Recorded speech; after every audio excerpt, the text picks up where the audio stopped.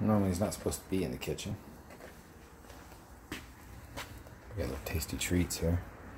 It's a heart. You see all the blood just kind of coming out real fast. Here we go. But ultimate nutrition for a puppy. Ultimate nutrition.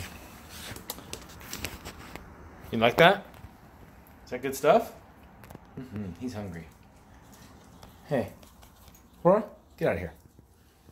See, she's not been very tolerant, but I'm kind of a lot.